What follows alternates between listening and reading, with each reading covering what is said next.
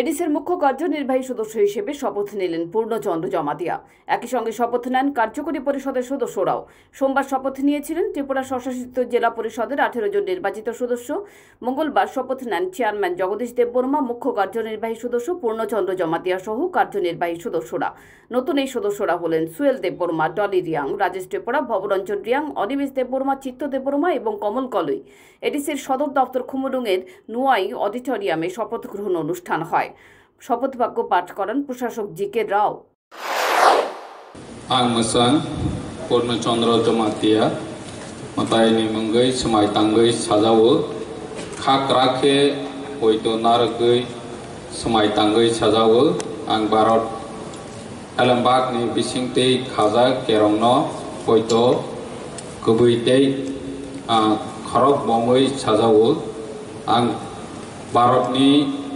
พันกปลายเอปทลายมึงนอขาพัง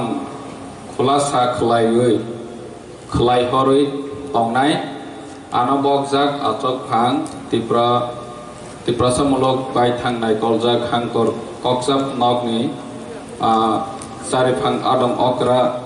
นี้สามงนอเบบักนี้ শপথ নিয়ে নবনির্বাচিত মুখ্য কার্যনির্বাহী সদস্য বলেন শিক্ষা কৃষিতে অগ্রাধিকারের ভিত্তিতে কাজ করা হবে বিদ্যালয়ের শিক্ষক স্বল্পতা দূরীকরণে পদক্ষেপ নেবার কথা বললেন তিনি স্পেশালি এডুকেশন এগ্রিকালচার সেক্টর মে জোর देना চাহতা হুম क्योंकि एग्रीकल्चर लैंड है अभी भी পড়া हुआ है खेती बाड़ी करने की पानी नहीं है इरिगेशन फैसिलिटी नहीं है तो मेरा ख्याल से उसको ज़्यादा ध्यान देना चाहिए हम मिल के बात करके कहाँ पे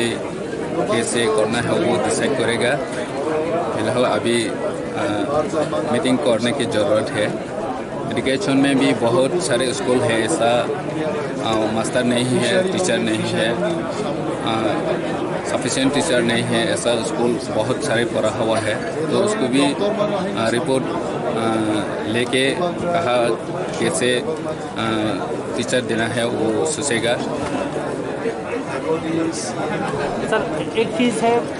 एडीसी में डायरेक्ट फंडिंग का बात चलता है अब जब सेंटर में एक गवर्नमेंट स्टेट में गवर्नमेंट एडीसी में दूसरे सेट का गवर्नमेंट है तो उसमें किस तरह की तकलीफ आप यू डायरेक्ट फंडिंग तो अभी बहुत ज़रूरी है क्योंकि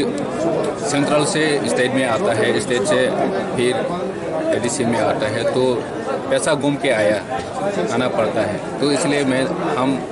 पूर्वाग्रह भी ऐसे ही बोलता है डायरेक्ट खान बहुत ज़रूरी है क्योंकि